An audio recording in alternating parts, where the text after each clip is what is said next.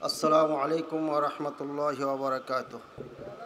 الحمد لله رب العالمين والعاقبة للمتقين والصلاة والسلام على نبينا محمد وعلى آله وصحبه وسلم. أما بعد فأعوذ بالله من الشيطان الرجيم.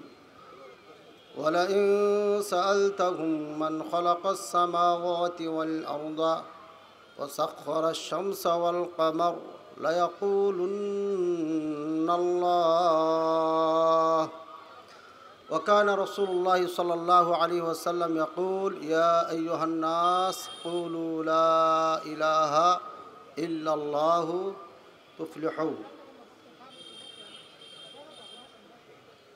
আহলে হাদিস আন্দোলন বাংলাদেশ নওগাঁ জেলা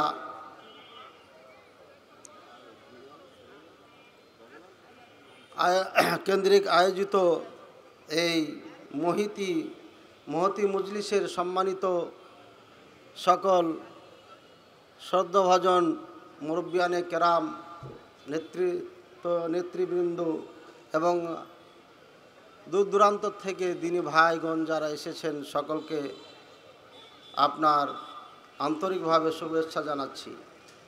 আসলেই আমাদের এই মজলিসগুলো কেন করি? আহলে হাদিস আন্দোলন কেন বাংলাদেশ, বাংলাদেশের আনাচে কানাচে এভাবে ছুটাছুটি করছেন? লাভ কি? আমি অনেক ভাইয়ের সঙ্গে পরিচয় হলো, দেখা হলো, বগুড়ার থেকে, সিরাজগঞ্জ থেকে, একেবারে বর্ডার থেকে নওগাঁর এসেছেন। কেন এসেছেন টাকা পয়সা খরচ করে? যারা রাজশাহীর আমের মজা জানে, ও রাজশাহীর আম ছাড়া অন্য আম চায় না। আবার আমের মধ্যে অনেকগুলো জাত আছে, যারা জাত চিনে, তারা ট্যাঙ্গা, টক আম, গুঠে আম খায় না। ঠিক না ঠিক? যারা অরিজিনাল ইসলাম চিনে, তারা আহলে হাদিস আন্দোলনের ছত্র ছায়ায় আসতে হবে, এছাড়া কোনো রাস্তা নাই, ইনশাআল্লাহ। আমি যে পাঠ করেছি, পাঁচ দশ মিনিটের মধ্যে তা কখনো বলা সম্ভব না।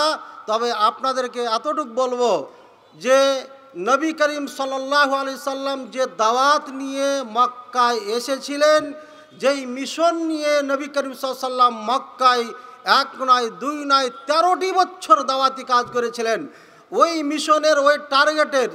আর তারপরে মদিনায় দশ, তেইশ বছরের যে টার্গেট নিয়ে উনি অক্লান্ত পরিশ্রম চালিয়ে গেছেন। এ টার্গেট বাংলাদেশ, ভারত, পাকিস্তানের পুরোপুরি কবর দেওয়া হয়েছে। আশ্চর্য লাগছে আপনাদের?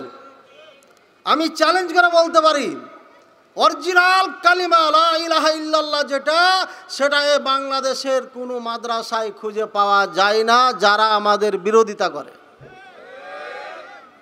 এতে কোনো সন্দেহ নাই। কালিমার অপব্যাখ্যা এ দেশের মাটিতে চলছে। নবী করিম সাল্লা সাল্লাম যখন এই কালিমার দাওয়াত নিয়ে আসেন, ওই সময়কার কুফারে মক্কারা এক বাক্যে বলতো, এ আসমান, জমিন, চন্দ্র, সূর্য, আর আসমান থেকে পানি, জমিন থেকে আপনার ফসল, যাহা কিছু আছে সব কিছুর সৃষ্টিকর্তা আল্লাহ পাক রব্বুল আলমিন। আমি আয়াতে কারিমা পাঠ করেছি সুরান কাবুতের, আপনার একষট্টি নম্বর আয়াত, তারপরে আপনার সুরা আনকাবুতের তেষট্টি নম্বর আয়াতে একই কথা বলা হয়েছে। সুরা ইউনুসের একত্রিশ নম্বর আয়াতে আল্লাহ পাক রব্বুল আলমিন একই কথা বলেছেন, কুল প্রশ্ন করেন তাদেরকে, ওদেরকে বলো রে, আসমান জমিন থেকে তোমাদেরকে রেজেক কে দেয়? তারপরে বলেন ওয়ামাই ওয়ামাই ওয়ামাই ওয়ামাইয়ামলিকু সামা ওয়াল আবসারা। আম্মাইয়ামলিকু সামা ওয়াল আবসারা। এই দৃষ্টি আর কানের আপনার মালিক কেটা? তারপরে প্রশ্ন করেন, আপনার মৃত্যু ব্যক্তিকে নাকি জীবিত ব্যক্তিকে মৃত্যুকে দান করেন? আবার মৃত্যু ব্যক্তিকে আবার পুনরায় জীবন দান কে করবেন? কেয়ামতের না, মরণের পরে। তারপরে এই আসমান জমিন, আসমান জমিনের মাঝে যাহা কিছু আছে সব কিছুই কে পরিচালনা করে? এভাবে ছয়টি প্রশ্ন করবেন। ছয়টি প্রশ্নের উত্তর তারা বলবে আল্লাহ সবাই বলবে, এই কাফেররা আল্লাহ। তাহলে তাদের ইমানে কোনো ত্রুটি ছিল বলেন? সব কিছুর মালিক আল্লাহ, এটা বিশ্বাস করতো তারা। এত অটুট বিশ্বাস ছিল। আব্দুল মোত্তালিব কাবার গেট ধরে বলছেন ইয়ারাব্বাল কাবা এহফাজ বাই তাকা এ আল্লাহ তুমি ঘরের মালিক, এই কাবাকে তুমি হেফাজত করো। আমরা আব্দুল মোত্তালেবের খানদান মক্কাবাসী কেউ হেফাজত করার ক্ষমতা রাখি না। তার যদি ইমান এত অটুট না থাকতো, আল্লাহর প্রতি বিশ্বাস না থাকতো, তাহলে কাবার গেট ধরে কখনো এই প্রার্থনা আল্লাহ পাক রব্বুল আলমিনের কাছে করতেন না। সুতরাং এই প্রার্থনা প্রমাণ করে আব্দুল মোত্তালেব আল্লাহকে মানতেন। আব্দুল মোত্তালেব যেভাবে আল্লাহকে মানতেন, বাংলাদেশের নাইনটি পার্সেন্ট মুসলিমও সেভাবে মানে। তাই কোরআন সন্ন্যার আলোকে যদি ফতোয়া দিতে যায়, তাহলে পারে অত্যন্ত এবং কঠিন বিপজ্জনক অবস্থানে বসবাস করছে এদেশের নাইনটি পার্সেন্ট মুসলিম। ভাইয়ার, আমার নবী করিম সাল্লাম দাওয়াত প্রথম যখন নিয়ে এসেছিলেন, সেটি একটি বাক্য, একটি আপনার সেন্টেন্সের দাওয়াত সেটি হচ্ছে ইল্লাল্লাহ।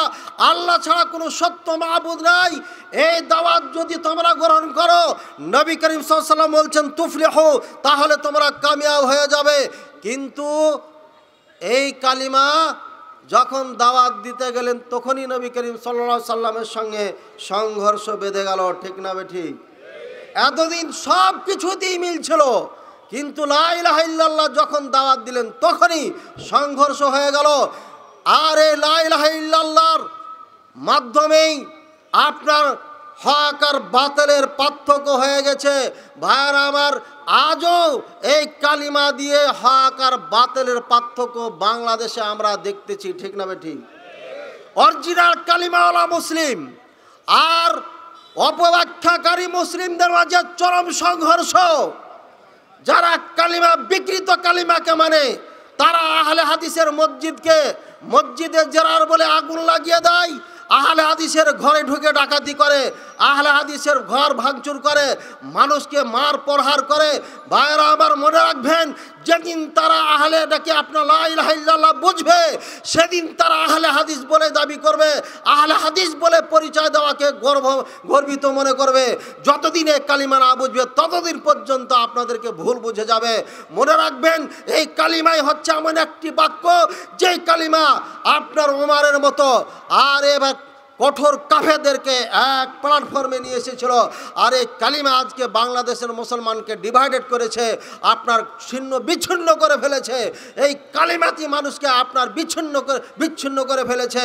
হঠাৎ করে এক মুলবি আগামী খুতবাতে বলবে, এই জুয়ান, ও জুয়ান, ময়দানে একজন মুলবি সাহেব বক্তব্য দিয়েছিলেন।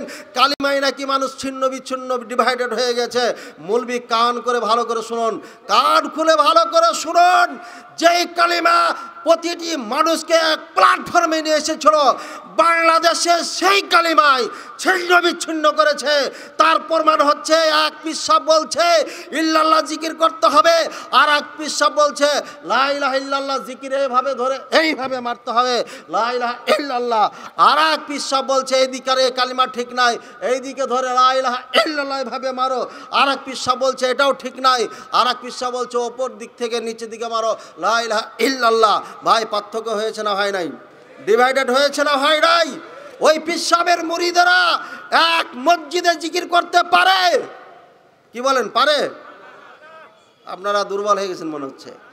দেখেন কালিমাতে কেমন বিচ্ছিন্ন করেছে এদেশের আলেমল আমাদেরকে, এসা এদেশের বাবাদেরকে। যে কালিমা এক প্ল্যাটফর্মে নিয়ে এসেছে, ওই কালিমা ডিভাইডেড করেছে কালিমা না বোঝার কারণে। কালিমা নিয়ে আলোচনা এখানে শেষ।